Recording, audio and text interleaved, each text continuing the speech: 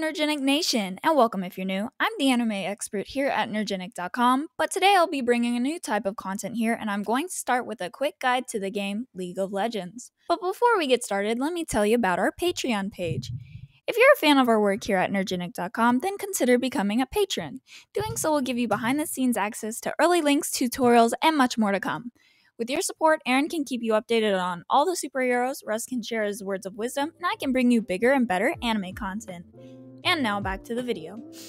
League of Legends, commonly referred to as League, is a 2009 multiplayer online battle arena video game developed and published by Riot Games.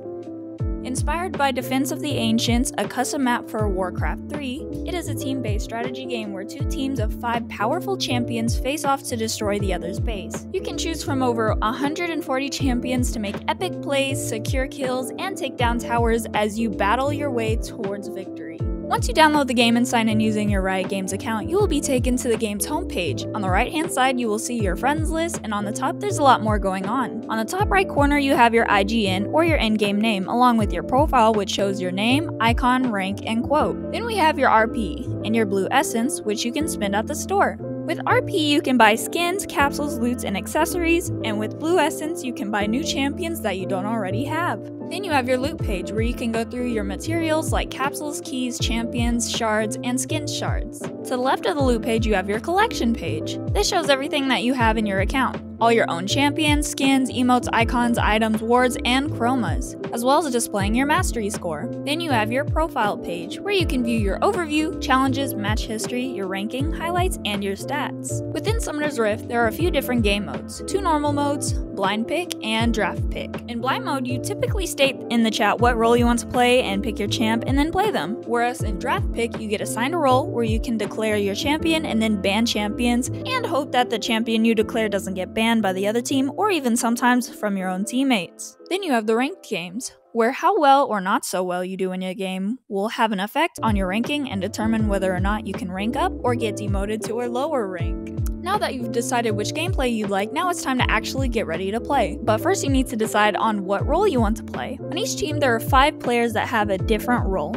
The top lane generally chooses strong champions who have enough life and can eventually help their team roll. Some champions we can highlight in this role are Mordekaiser, Garen, Illaoi, and Dr. Mundo. All have large amounts of life and can take and sustain damage throughout the game. From the different roles in League of Legends, the top is the most versatile as it allows you to do some solo play in the early game and then work as a backup if other lanes need you. Then we have the junglers. The jungler is in charge of supporting each of the other lanes and killing jungle camps like red and blue buffs, dragons, barons, and smaller camps like the wolves or rock monsters. It is a style of support, although with other characteristics that make it a more versatile role. In this case, champions that usually are used are Master Yi, Shaco, Evelynn, Kindred, or Warwick for better performance. Then we have the mid lane. When in mid, champions with mage characteristics or similar skills are often used. They're also known as AP carries because they climb with ability power. Some excellent champions to use in mid lane are Zed, Akali, or Ahri, who individually can reel their team. So to sum up, the most important feature of a mid laner are attack and speed. Then in the bot lane, we have the ADC or all damage carry and the support. The ADC champs attack from a distance. Their ultimate goal is to be able to eliminate enemies with ease and to be one of the champions to do more damage in the game. Some good champions for this role are Miss Fortune, Zeri, Sivir, Caitlyn, or Jinx thanks to their skills and performance. Then lastly, we have the support role. The support is the companion of the ADC and the subsequent help of the whole team. The support is in charge of having vision all over the field and protecting his teammates throughout the game. Some of my favorite support champions are Yuumi, Seraphine, Nami, or Lux because of their crowd control skills in handling heavy situations. Alright, so you've picked your role and you've selected your champion. Now it's time to set up your runes and summoner spells. Now, there are many different ways to set up your runes, so I suggest looking up different builds to determine which runes are good for your lane, champion, and playstyle. Runes can make or break a champion before the game can even start, and with the summoner spells, you can choose from 9 different spells to help aid in your game. You spawn in at your team's base where everyone starts with 500 gold. You buy your starting items depending on your role, and you run off to your positions. Most people chat or show off their skins and emotes during this time with their silly dances. To use an emote, hold down T and then select the one that you want to use. To chat with your team, press the enter button to access the chat, and if you want to talk to everyone, including the other team, press enter and shift. And to do those fun little dances, hit control, then press 1, 2, 3, or 4. Each champion has their own unique moves, which you can use by pressing Q, W, or E. And after level 6, you will have access to your ultimate, which is your R button. But don't forget to utilize your champion's passive, which you can read by hovering over the passive icon. As you battle through your lane, you will eventually need to back to buy items to further advance in the game.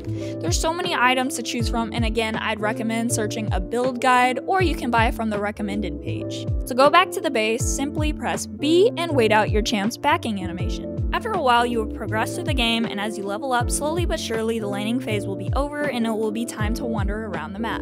This is where lots of strategy comes into play, but one of the most important things to do after the laning phase is to have plenty of vision on the map. You can press Fort Award, and other ways to gain vision would to be kill this jungle camp or to break vision flowers to make sure your team can see as much of the map as possible. Eventually, you'll start to make your way towards enemy turrets, and these are team safe havens and protectors. While you attack enemies while they are under their turrets, the turret will retaliate by targeting you and they deal massive amount of damage.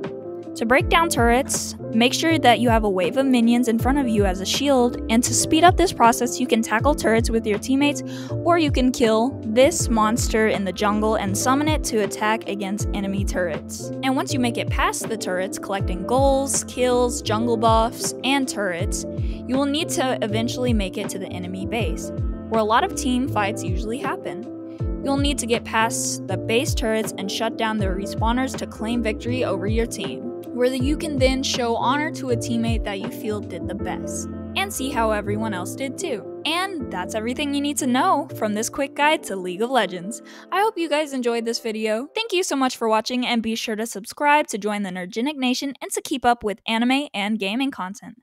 That's all for this video. Anime expert Ash out.